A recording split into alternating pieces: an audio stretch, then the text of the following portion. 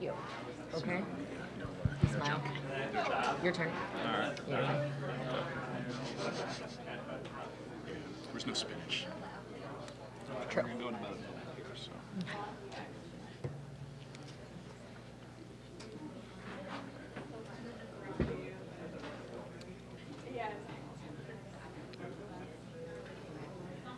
It's pretty impressive. We're here on time, in position. Having slipped down much. All right, well, we're going to go ahead and get started. Uh, I want to thank everybody for coming out and joining us today. It's a great way to uh, spend your lunch hour talking politics and elections. Uh, I'm sure a lot of you are excited about that, but uh, we're going to get into a little bit of uh, discussion about not only the political conventions that uh, just ended, but we're also going to talk more uh, politics and elections in general in the state of Illinois, especially. And we have a couple of guests here today. First, let me introduce myself. I'm Sean Crawford. I'm the news director at WUIS. It's the public radio or NPR station here on campus. And uh, before taking on that role, I served as a reporter at the state capitol for about 13 years. Uh, also covered two different political conventions uh, the Republican convention in Philadelphia back in the year uh, 2000 and the Democratic convention in Boston in 2004. Our panel uh, both covered each of the parties' conventions this year. Now, I do want to mention as well if you have any questions or comments, you want to uh, uh, talk to us in any way, just feel free whenever the mood hits you to come on up to the microphone over there to my left, and uh, we'd like to hear what you had to say. Uh, first of all, let me introduce Amanda Vinicky, seated next to me. She's the State House Bureau Chief for WUIS. She earned an MA in Public Affairs Reporting from UIS back in 2005. She completed undergraduate degrees in broadcast journalism and political science from the University of Illinois at Urbana-Champaign in 2003. And Amanda has been covering the Illinois General Assembly for WUIS and the statewide Illinois Public Radio Network since 2006. She's won several awards during that time.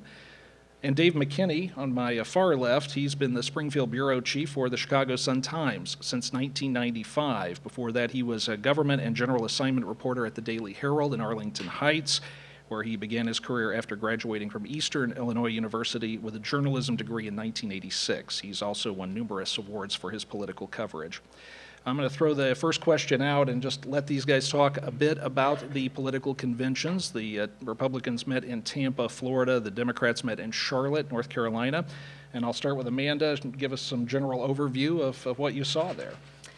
So, um, basically how the conventions work we're there to cover you have more the illinois delegation so obviously following what's happening on a national perspective but we have national public radio to do that. So my main concern at the conventions wasn't to follow every utterance of mitt romney. It was more to follow the illinois leaders and their reaction to Mitt Romney and what they're going to do come November, both in the presidential race, but also Illinois has uh, a handful, six actually, congressional races that are really tight. So those that was a big focus at the GOP convention for Illinoisans, and you saw a lot of posturing for an election that is a couple years off, but nonetheless an important one, the gubernatorial election in Illinois.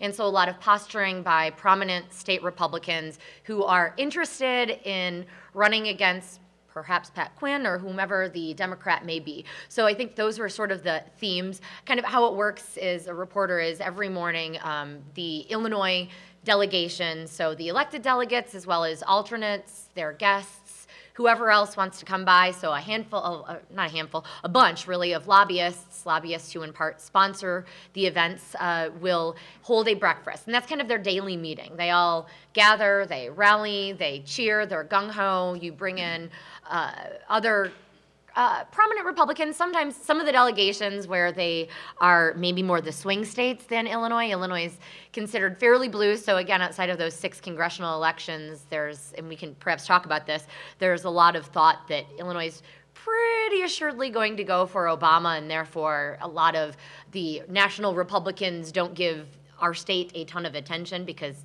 they don't need to in a way. I think they see it as somewhat a lost cause. So some of the delegations will get movie stars and such. Illinois uh, we got what um, john boehner was probably the most prominent big name. So the speaker of the u.s house is, who's trying to hold on to it and again concerned about illinois because our state could play a major role in whether or not he keeps that role or whether he has to head the minority party in Congress. Uh, so they have these rallying cries, bring in speakers, kind of get the business done for the day, and then you'll see the delegates go off. Sometimes it's free time where they're not. Uh, potential hurricane or tropical storm that hit Tampa when we were there, I think we would have seen a lot more pool lounging going on in the afternoon than actually did occur. Um, but instead, people just kind of you know spend their days talking to one another, meeting up, and then it's the evening. That's what you see on TV is the big coverage where you know the vice presidential candidate, where you heard from Paul Ryan, where you heard from Romney, and so we're there to cover that as well and just get Illinois delegates' reaction. So there's kind of the, the state angle. Dave? Yeah, I mean, for, for both of us, I think the whole thing, the whole exercise started out with this, this uh, uh, question, will there be 15 to 20 inches of rain falling on us? And so one of the first things I did was to go to Dick's Sporting Goods and buy this really cool rain gear and really cool rain pants. And, you know, it never got out of my suitcase because it, it just passed over Tampa. We've had worse any kind storms of- here, Yeah, sure. it was, it was, it was very weak, you know, big buildup, but, but not much there. I mean, Amanda hit it on the point, uh, all the points here. I mean, you know, the, in, in both of these conventions, it was, um, you know, the start of the day was very hectic covering these breakfasts that the Illinois Republicans and Democrats both held. You know, it, it- it felt, it felt to me like the Republicans this go around, um, th- there was a definite enthusiasm level there that I felt that might have been missing in previous years. I mean, these guys really think that, you know, in spite of having a terrible map drawn for them, you know, at least on a congressional basis, they, they really, I think, feel optimistic going into the 2014 gubernatorial election. I mean, I, I think I came away from the Republican convention, you know, really convinced that there are five or six, you know, really viable candidates that, that could emerge. And, you know, the guy that I, I wound up spending the most time with there probably was Aaron Schock. I didn't know him well when he was in the legislature representing Peoria, but, but you know, he's a guy who's very driven. And uh, it, it was interesting spending about an hour with him and, and you know, definitely getting the vibe that he's, he's thinking about running for governor or possibly uh, U.S. Senate if Dick Durbin retires in uh, 2014. You know, on the Democratic side, um, you know, we saw, um, you know, I think the, the issue there was like, especially at the presidential level, is, is, uh, is there an enthusiasm deficit? Because, you know, the, the base, um, you know, while, while they are there for Barack Obama, it's, it's, you know, most people are still feeling the effects of the economy. The, the, you know, there's not great, great enthusiasm here. And, and so, you know, in, in, uh, in Charlotte, you know, we saw this question about whether they were going to do the, uh, do the event out in a football stadium that could hold 80,000 people. And they pulled the plug on that. And, you know, they said it was the weather that was the problem. But, you know, it seemed like all the storm clouds had kind of drifted away a day or two earlier, you know. So, I mean, there was that question in Charlotte whether they were basically kind of putting all of their people into a, a, tighter arena to make it look like it was, it was fired up. And I will say, you know, um, you know, inside that arena in Charlotte, you know, the Democrats were pumped. And, and uh, you know, Bill Clinton, Bill Clinton, I'd never seen him deliver a speech before, but he is, he is a master. I mean, he, he comes across as a Baptist minister. I mean, he just, he relates to people on a, on a real gut level. Uh, and, and I think he, he scored great points. His speech, frankly, in my mind, was way better than Obama's. And, and uh, I thought Michelle Obama was amazing, you know, and, and it was true on the Republican side, too. I thought uh, Ann Romney was, was a, a really strong speaker at night. And I thought Paul Ryan did a good job. You know, I mean, he was, he was so youthful. And uh, in that Ryan speech, the one thing that I came away with, um, you know, a day or so later wondering about, I mean, he, he de- delivered such a great technical speech. I mean, uh, but, but he had that, that line in there about the Janesville auto plant. And it, it was, you know, I, I don't know if he was trying to get greedy and, and going after Obama a little bit too hard, but, but he, he was blaming Obama for this plant closure, this auto plant closure in uh, Wisconsin. And Obama wasn't president then. And it was just a, a tiny little detail like that clouded what I thought otherwise was a great speech by, by Ryan. And uh, again, on the, on the Republican side, Romney, I thought came across kind of flat. So really, on both sides, we had the, the presidential candidates, I think, playing real conservative. And, uh, you know, so, but it was just, it was real interesting seeing, uh, you know, seeing how it all plays out. You feel like you're in the center of the universe, really. I think that's the thing. I think it both. People always ask, so which was more fun or which was more interesting? And being able to cover both, I did um, this year as well as four years ago. When you're there, the energy is immense. It is entirely just overflowing. It is loud. There is music. Uh, I would say maybe. I will give a bit to the Republicans just because, as Dave had said, the Democrats at the last minute moved what was supposed to have been an outdoor last night Obama speech inside, so they didn't have as many balloons and confetti set up. There was you know, just a smidgen of that.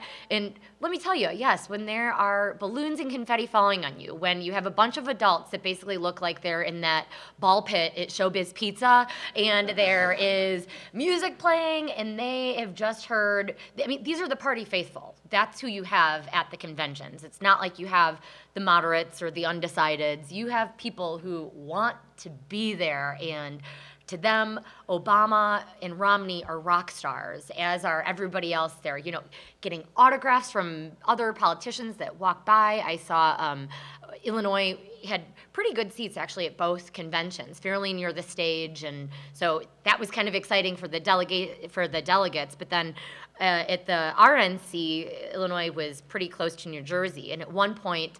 Uh, Chris Christie was there, and he was just kind of standing on the side aisle. And you know, where else do you see people taking pictures? And I mean, like it was that you know fast flash setting or whatever it is, where it's go and everybody, it was like rapid gun machine fire trying to take pictures of this guy.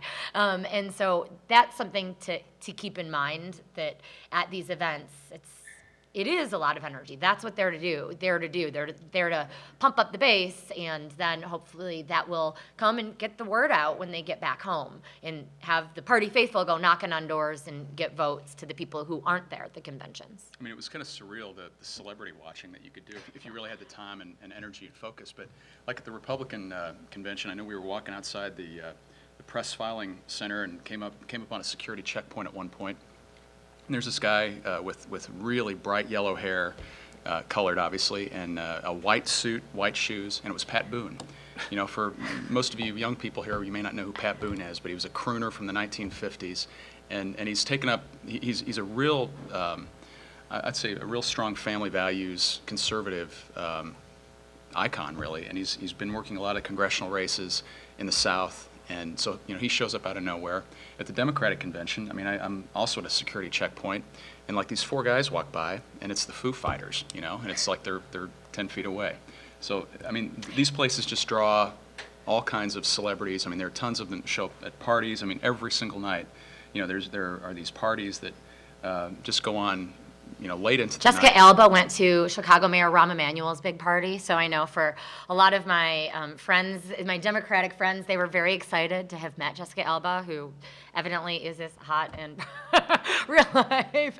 Um, I met John Oliver at the airport. That was cool, Yeah. just because I think he's really funny. Well, yeah, we, we were we, we shared the same cool. plane to uh, was it was it uh, Charlotte, and Mm-hmm. we were sitting next to a producer on the Daily Show. You know, so I mean, it, it just you know, it's it's just you know when you have forty or fifty thousand journalists all converging onto one place like that, and then the celebrities are coming, and then the politicians are there. It's just a spectacle. You know, both places. How many people uh, watch any of the conventions, political conventions on TV? Or however, how many of you watched like all four nights of each convention? Like, not that many, right? So I don't blame you. I mean, it can get a little tiring to watch. These are these are political pageants. The outcome is decided long before these things ever start. So that brings up another question, and one that is being discussed a lot in a time where media is finding a lot less money and a lot less ability to send people places is is this worth the time and effort to be there as a, as a reporter and get your guys thoughts on that Um, I, I- I don't know how much this would change the final outcome of an election. I think probably the most memorable thing for anybody coming out of these would be Clint Eastwood and his invisible chair, and how often we're going to see spoofs of that on Saturday Night Live for the next seven months. You know, uh, that I think is really probably for most people what what they know about.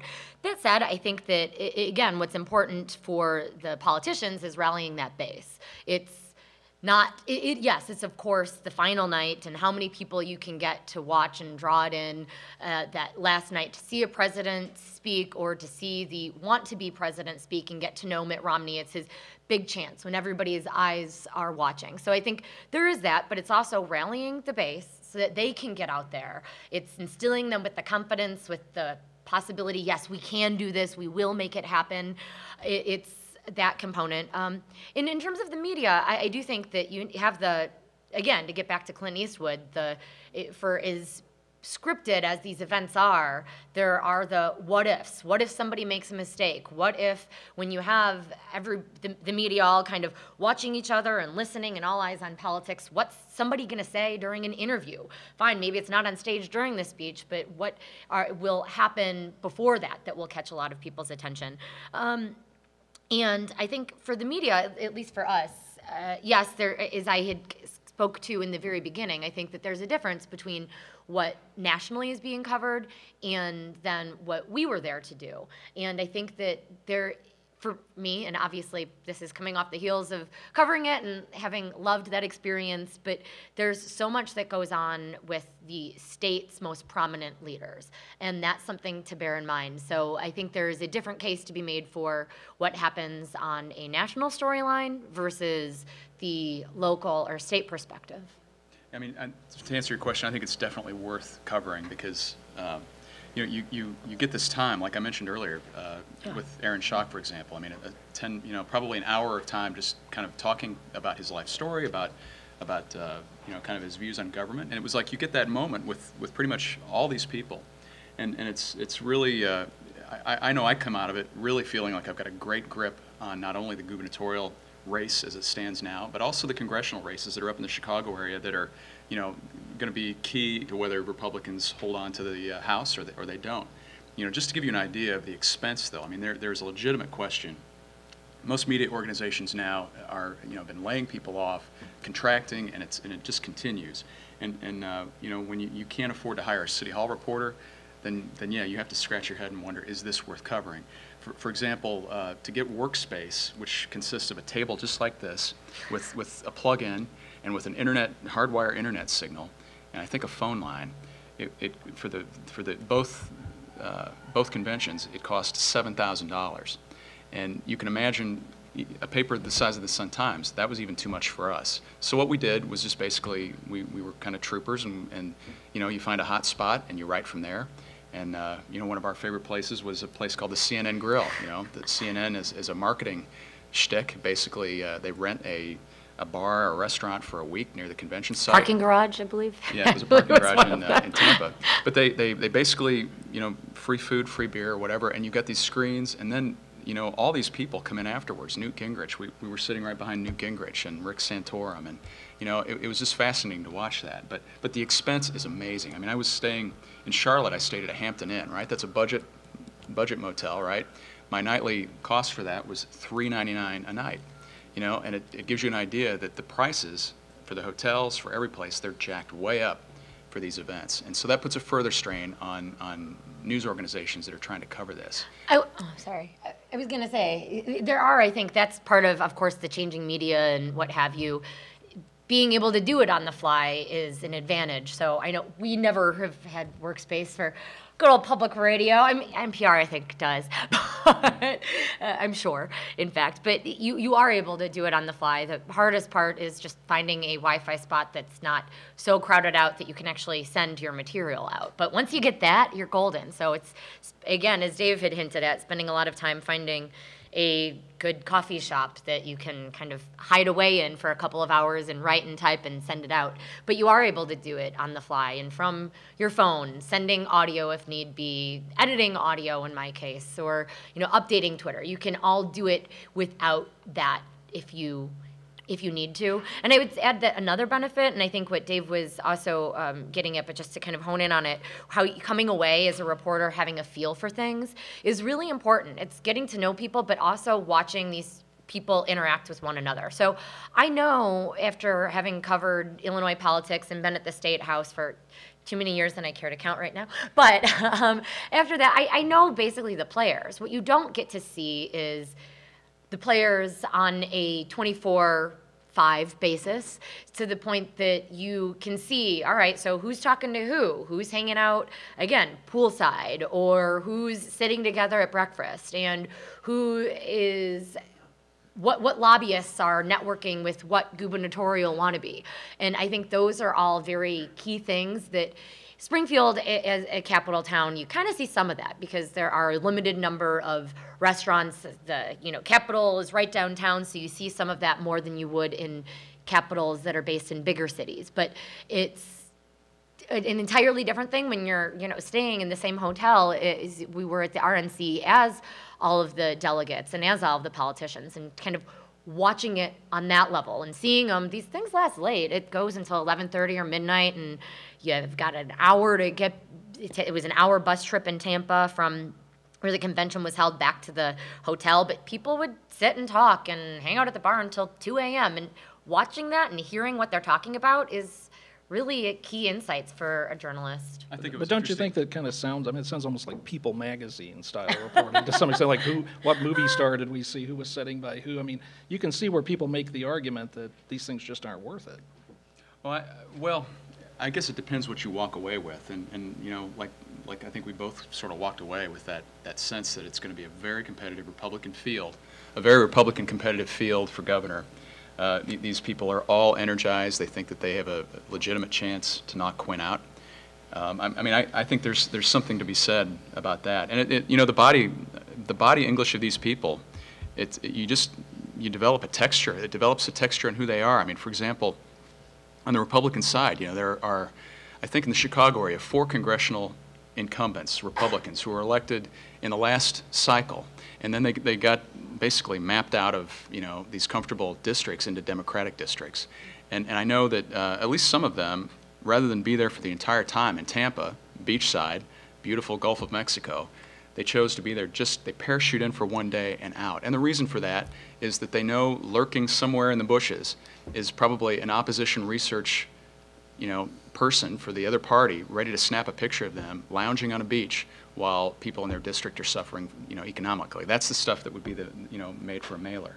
But it's, it, you know, nowhere else at no other time do you have all these people in one place that you can just kind It's of like go. a wedding. Yeah. You know, when you go to a wedding and it's everybody that is central to the bride and groom's wife, friends from high school, from college, family, and you know, you see them all get together. That's, I guess, in a way, what conventions are. It's everybody who's anybody in these parties, and you see who gets along with who. And I think there were some very telling moments, the, the Republican National Convention, where you could kind of see some sniping between um, the party chairman and a, um, a certain politician who is a rising star and uh, and you can see that Th- there Yeah. was a joke where um, at one point so the illinois gop chairman pat brady um, was up on the stage, and I forget what kind, and he took a sip, and that there where I'd heard of bad blood between he and Treasurer Dan Rutherford.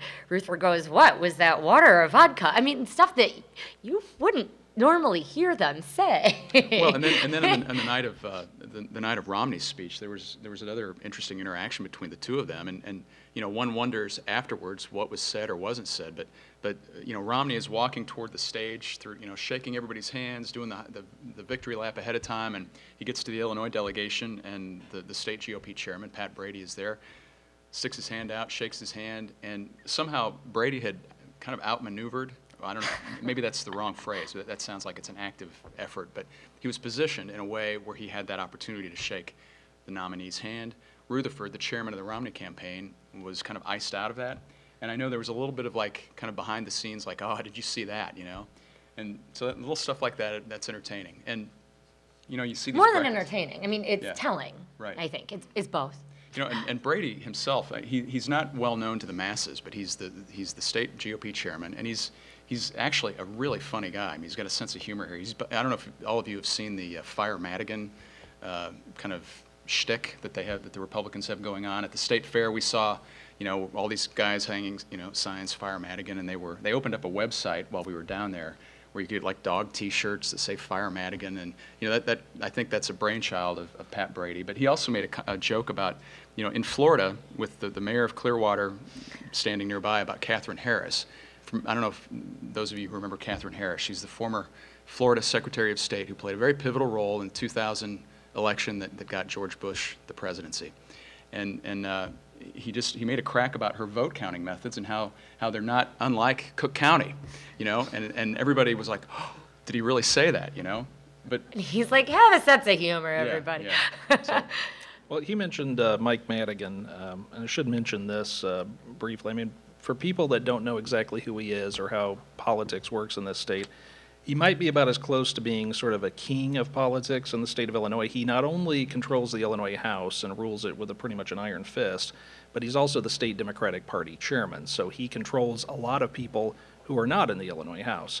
And uh, I know that Speaker Madigan was a little more, and this is a guy that doesn't talk to the press hardly ever, very rare occasions. But I know he talked with you. I know he was a little more open out at the uh, at the convention. But uh, that I guess could be argued as another reason to go, as you get these people maybe with their guard down a little bit, more willing to discuss certain topics.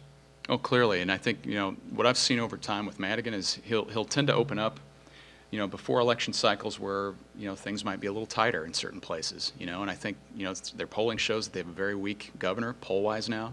And so, you know, does that trickle down to the House races? And that's always been Mike Madigan's number one priority, you know, retaining control of the House.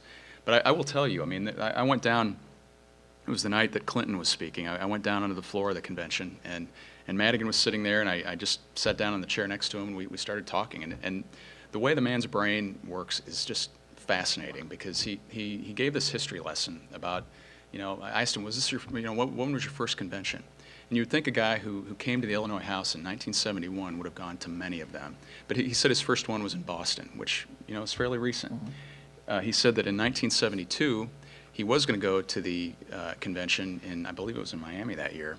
But uh, at that point, um, uh, the Reverend Jesse Jackson and a Chicago lawyer named Bill Singer both were McGovern people, and they didn't like the fact that, that uh, Madigan was coming out of a machine, you know, Mayor Daley thing. So they, they did some maneuvering to keep him out as a delegate. So he didn't get to go, and I think it must have left a sour taste in his mouth. But, you know, to hear him talking in such detail about, about that experience that happened, you know, nearly more than 40 years ago was fascinating to me because at that point in time, I think I was in kindergarten, you know.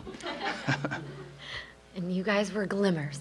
um, yeah, no, I, I think that to touch on something, the fire Madigan, first of all, to uh, go back to this strategy by the Republicans, it's an interesting one because he is such the figure in Illinois politics. He is the longest serving House Speaker, not just in Illinois, but nationally. And he's been around for everything. And he's not only House uh, Speaker, he's also chairman of the Democratic Party of Illinois. So it's really an interesting nexus, one that I think isn't duplicated really anywhere else. It, he's carved out a niche for himself, and it, and it is just telling to see um, how much energy he puts into Democrats. So we've been talking about Pat Brady, the chairman of the Republican Party, and Madigan isn't quite like that. He is not. He said that yes, he does some of that. He wants to bring Democrats together, but he's really there for his House members, and so watching him in that role, pretty much convention time is the rare opportunity that you're going to see him acting as the chairman of the party. I think, as Dave said, there were a lot of moments just watching Madigan with his family. His wife wasn't there, but the rest of his family, so Attorney General Lisa Madigan, but as well as his other two daughters and his son, kind of watching the family dynamic again is a in, uh, interesting insight for a reporter to have with her, talking to him about um, just kind of in the hotel, again, watching him mill about, watching who he is going to lunch with and talking to and therefore tied in with. I had the opportunity to speak with him for an hour. We sat down for a sit down interview where that never really happens during session. He's a busy, busy guy, and this was kind of an opportunity that you wouldn't normally get out in his here, you can only get it when you are removed from the situation. Um, but again, getting back to the Republican uh, campaign of Fire Madigan, it's interesting just because they are really trying to make the case that if you are electing a Democrat to the Illinois House, you are empowering Speaker Madigan. That he has been around so long. He is the one to blame for the state's financial situation. He is the one common denominator. And so they're trying to use that as a campaign tactic. It'll be interesting to see if that works in any way. That yes, they have this Cafe Press website where you can, you know, buy baby bibs and dog shirts and beach towels and whatever you want that says Fire Madigan. But how much is that really going to catch hold in these tight races? How much do people see it as Madigan being the issue versus their local candidate, they say polls show it's actually working, that he has been around long enough and Madigan has caught on as a name enough that they think it will be a winning strategy that could put them over the top. I will say the last person that tried to really take on Mike Madigan was Rod Blagojevich. We know how that story ended, so uh, we'll see. Now, I think to, to jump into something else, um, we'll move away from the conventions. And again, if anybody has any questions or comments or anything, if you want to just come to the microphone, we'd be glad to listen to you uh, and talk with you. But the uh, it, the you mentioned the uh, fact that Madigan, whether or not this would be successful, especially in House races, things like that. Uh, you may or may not be aware, but this year, Illinois uh, lawmakers, all of them at the, the legislative, at the Capitol, all of the seats are up for election. It's a redistricting year, they call it, meaning that there is a new political map that has designed all of the districts in the state. And uh, a lot of changes have taken place. Some lawmakers decide, I don't want to run in this new district. Nobody knows me. I'm going to get the heck out. Uh, but Democrats, because of their majorities at the Capitol and, uh, and uh, controlling the governor's office, they also control this process. So they have drawn all of the maps uh, to benefit, in most cases, the Democratic Party. Even where it benefits a Republican, it's done so usually in a way to say, let's put all the Republican votes in this one district. They won't hurt us as much over here and over here and over here. Um, so again, I mean, in some respects, when we go into an election year like this and one party has had such control over that process, how much enthusiasm among Republicans is out there?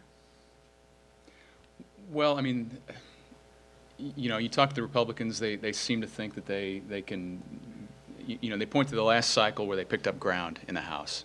And they think that if they can hold their ground this time, that in 2014 it could be, you know, a, a landmark year for them.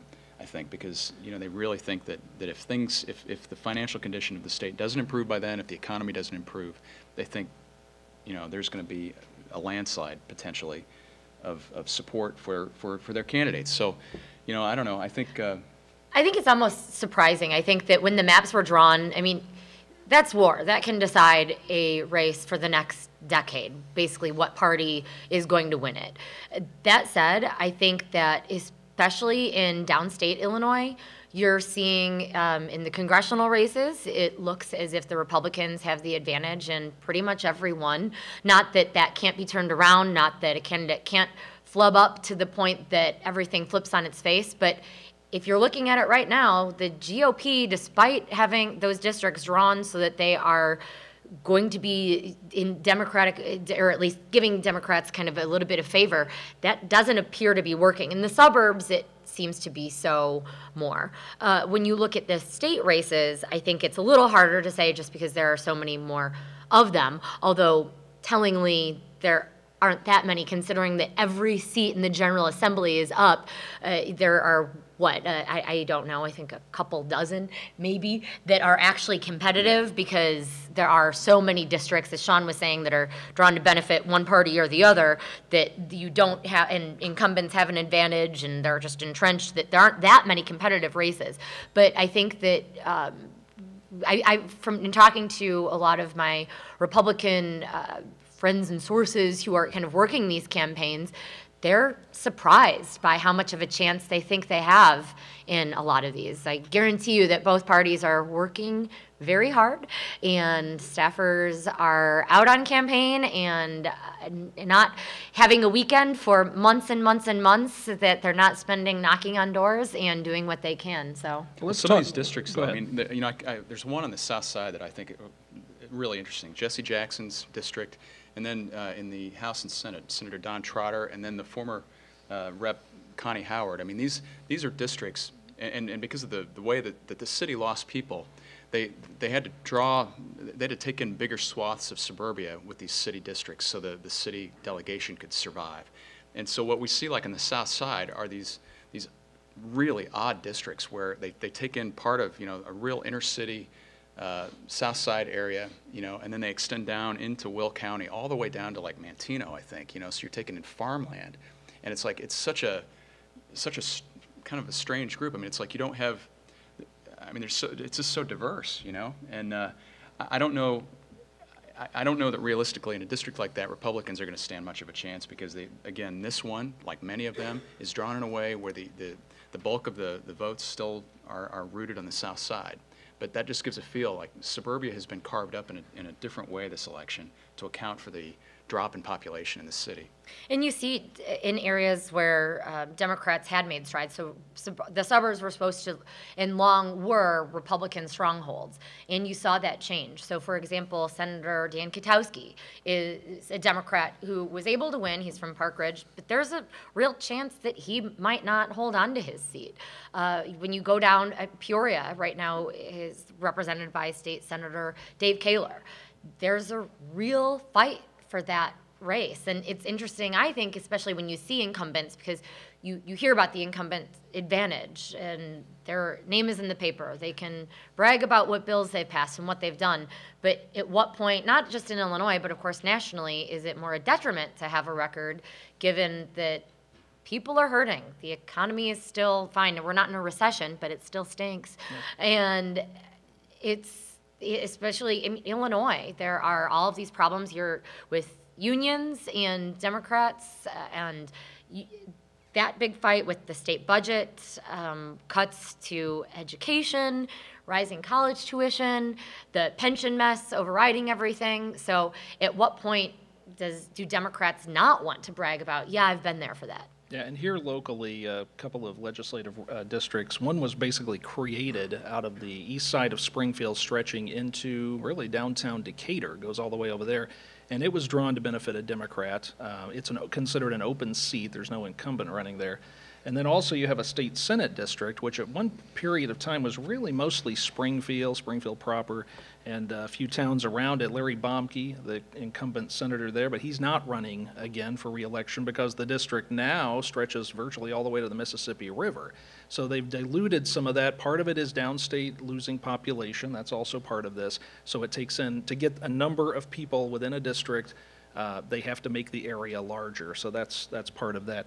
Um, if you could talk a little bit about uh, the the difference too between the upstate and downstate. When you when you cover politics at the state capitol, you really divide the state almost into three areas, and that is Chicago, the suburban areas, and downstate. When I first started covering uh, politics up there, it was Chicago was Democratic territory, and it still is.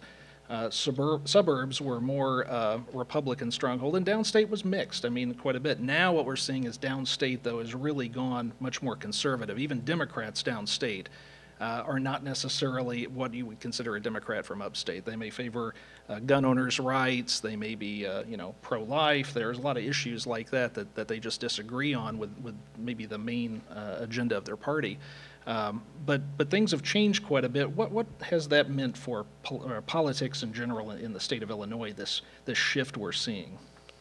Well, I, I don't know. It is fascinating to watch where, like, you know, we see, uh, you know, in the Senate, for example, polling that, that, you know, in each of these Senate districts, you know, the governor is underwater in, in most of the districts, and you're seeing Democrats like Senator Forby in, in far southern Illinois, you know, openly um, campaigning against Pat Quinn, you know, and so you're seeing that kind of stuff going on. And I think, you know, in terms of the, the, the political He's not just really campaigning against him. I think he's called him a liar. It's been very. it's, it's been, it's, it's been very unusual. Yeah, for- and for- part of that is to do with a lot of decisions that have been made too by Governor Quinn to close facilities. Sure. He's not popular in that district. But. Absolutely. But, you know, yeah, I mean, I think you, you, uh, you know, the power base is still Chicago, I think, and, and certainly the suburbs. And, you know, for Madigan and, and the Democrats, they, they see suburbia, I think, as the, as the swing, uh, the swing swing region. state of the. Absolutely. That- That's a good way to put it. Because, I mean, I remember, like Sean, you know, in the late 90s, that's when, that's when the Democrats started making inroads in uh, picking off Republican seats in the suburbs. And ever since, they've held on to them, and they've, they've, they've built upon that.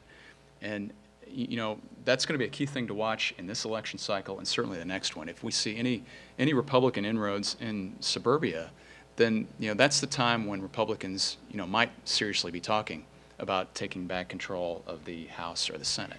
I think that brings up several points, though. You see issues within the Republican Party with that. Part of why, you know, some uh, pontificators say Republicans were losing out is because they made it about social issues instead of fiscal ones. And now that the economy is the issue, is that where Republicans will be able to pick up more in the suburbs, where voters tend to be more moderate. There's the, the fight between, there's long been a fight between the conservative element of the Republican Party and the more moderate um, part of the Republican Party, and that is amplified with the Tea Party now and coming in, uh, which hasn't had that strong a presence in Illinois, but a, a presence nonetheless. And I think the national name and the what's going on nationally with Republicans, people don't necessarily segregate their GOPs into where they're coming from. So I think that's an issue, and you're going to see that play out in the state senate. Some I think uh, whether how well Republicans do is going to show if Christine Radogno is able to hold on as leader. She is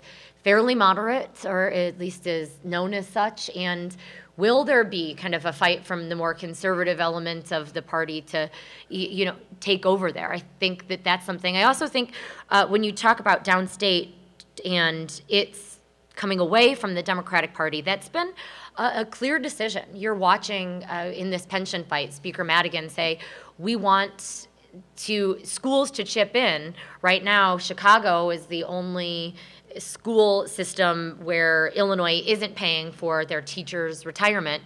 And that's easy for him to say because there's one Republican who is from Chicago. um, and, and, so it's been a strategic decision because Democrats have that base all tied up.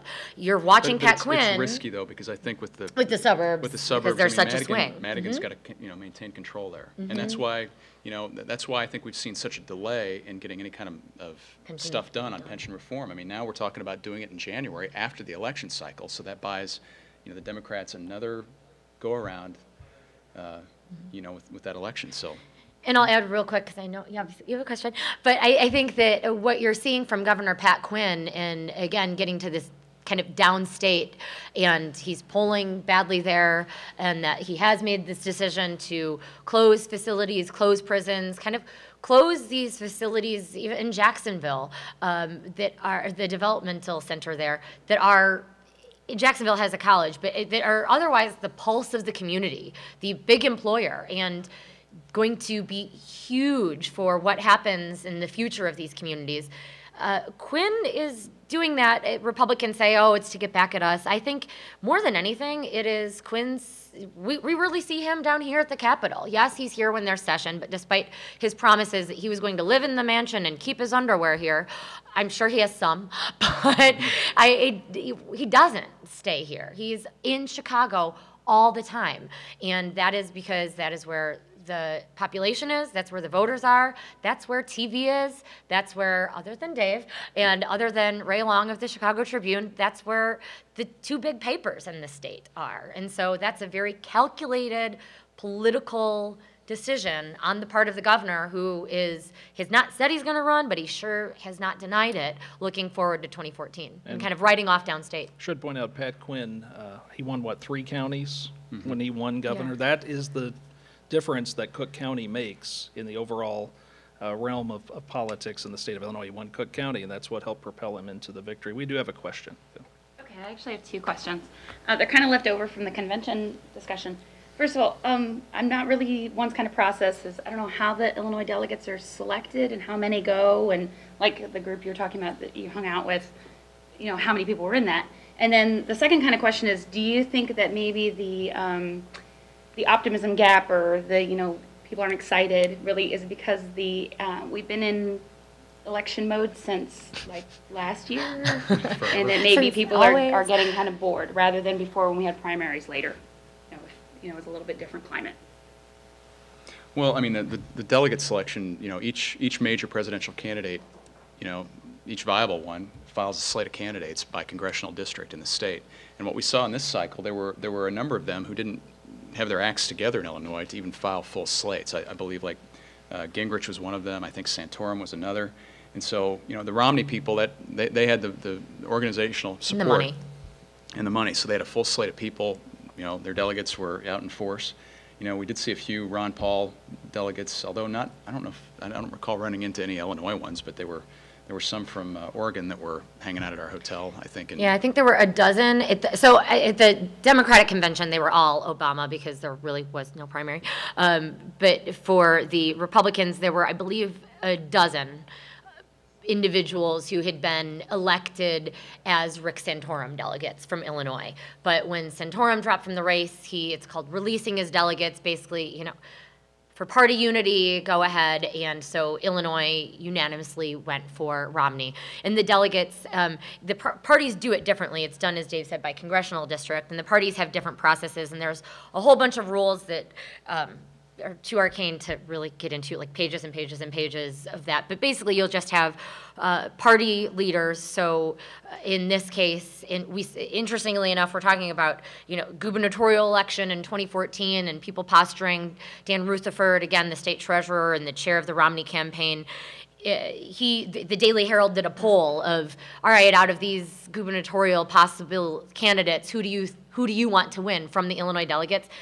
Rutherford won by a landslide, which is no surprise because as the chair of the Romney campaign, uh, it was all people that he'd kind of handpicked. That's basically how it's done. You'll have the party leadership go for somebody either that they think could be a rising star or that they like or are friends with and think, hey, it'd be cool for you to be in Tampa or Charlotte, or that has a good voter base and is maybe a local leader and therefore could bring along votes and support and will be good when now it's really time to again do door knocking. So that's basically how it's done. And when you vote in the primary, you vote for a delegate, but it's partially their name and partially the name of the in the presidential candidate for whom they are. And I, really- I think with that enthusiasm gap, though, that you're talking about, certainly at the Illinois level, where, where you see a lot of that is, is with the unions. I mean, the, the unions are, they, they are sitting on their hands right now, and, and they're very angry, obviously, over the pension debate, over the facility closures.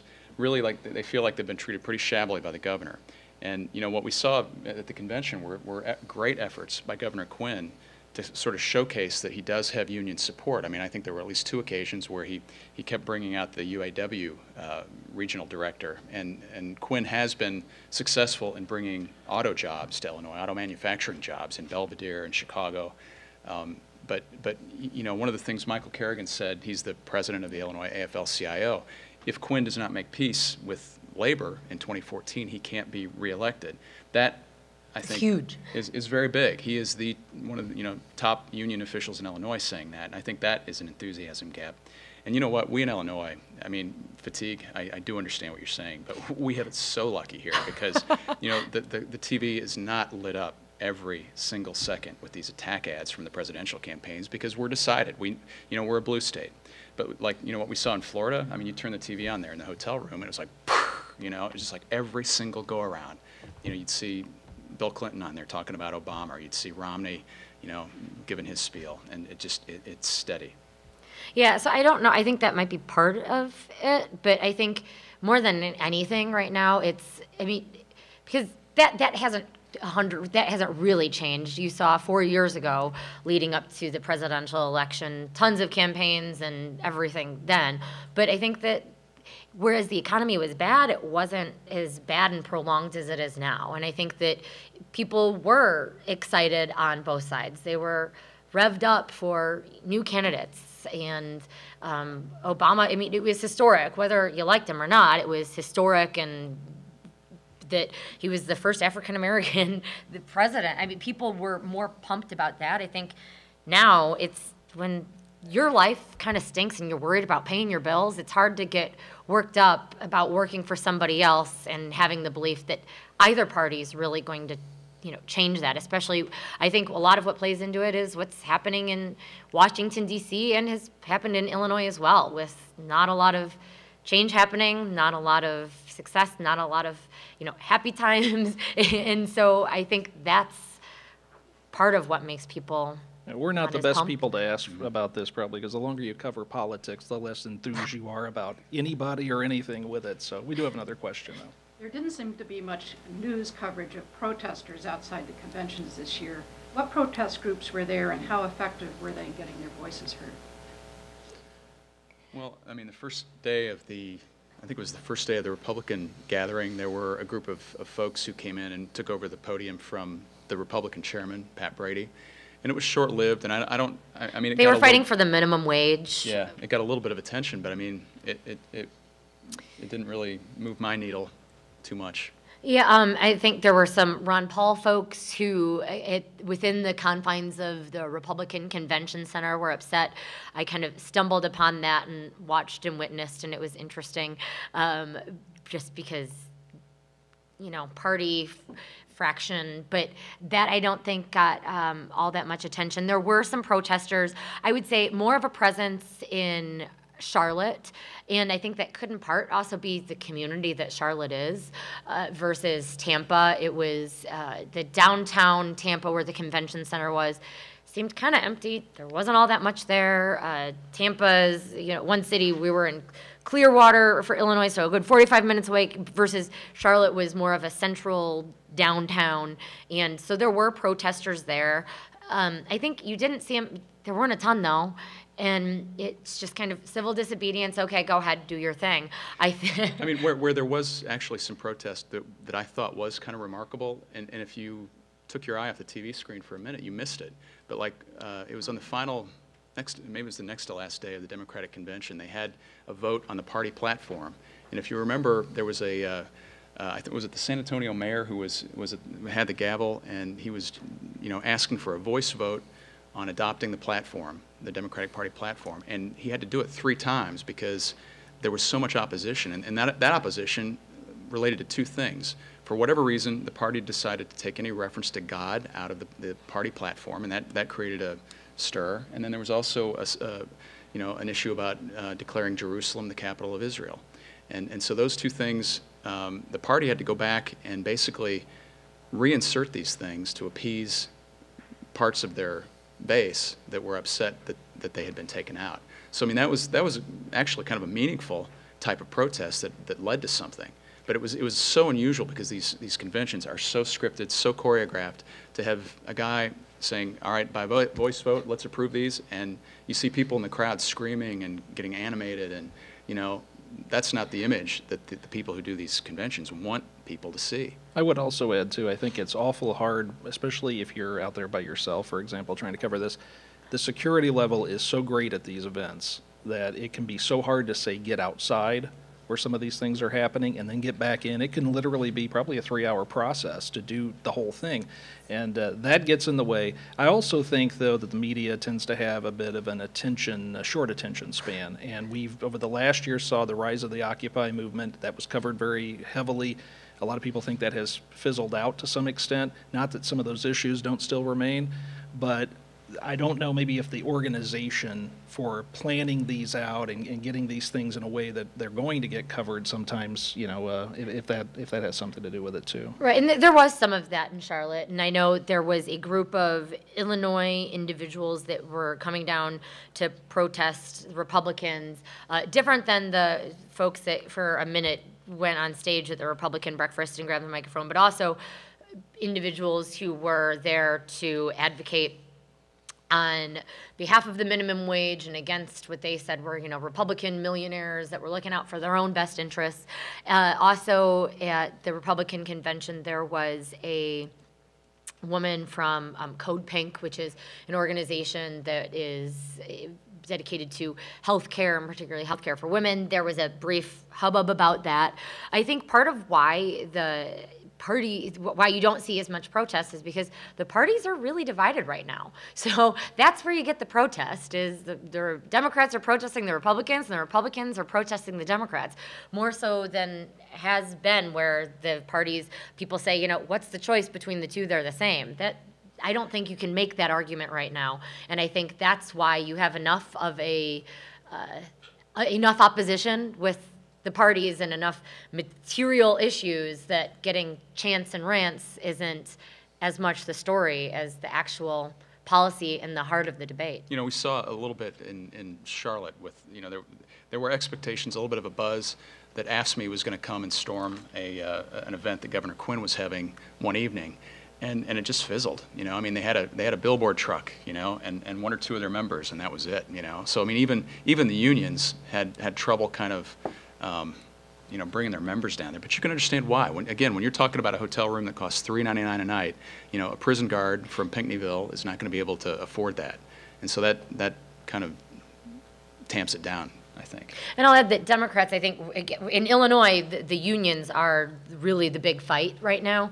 Um, but that's with Pat Quinn, and we heard from uh, the AFL-CIO President Michael Carrigan saying, "Our fight is with the governor. Our fight is not with Obama." So that's where I think also the Democrats where the unions didn't make as big a fuss as we had either heard rumored or they may have otherwise, and they did at the state fair where Pat Quinn was the central figure. They, unions, it's in their best interest, they will tell you, to have Obama win. So they're not going to try and mess up that party line with a national election they're going to they'll do it here within the confines of our state because then it's not as directed as obama they can direct it where they want it to and that is to the governor We're going to wrap things up here. I do want to give our uh, panel maybe one last chance to add anything that I didn't uh, mention, if you had anything. Uh, Anything you want to add to people about the upcoming elections? Sounds like, sounds like we covered it all there, didn't I? Do thi- everything I will say one thing uh, real quick, I think is a problem for the state of Illinois too, and it's on the topic of elections, and that is, and Amanda always points this out to me, and this year is a great example of that. You think you have a choice when you go to the ballot box to vote, and in many cases, you really don't. I mean, and the state senate race here is a great example of that, and this, and nothing against the people running for that who ran in the primary or are running now. But it's just an example of there is no Democratic candidate because that district is drawn so tightly to benefit a Republican, and you have it vice versa all over the state, that you don't have that choice when you walk in there. You really don't even have a, you don't even have anybody maybe other than a blank name that you could write in, and that's not probably going to do much good. So that is a concern, I think, something that you may want to take with you as you uh, start thinking about politics and maybe push towards some type of change for that. But I want to, again, appreciate uh, Dave McKinney of the Chicago Sun-Times, Amanda Vinicky of WUIS Radio. Thank you all. Thanks for coming out. and happy birthday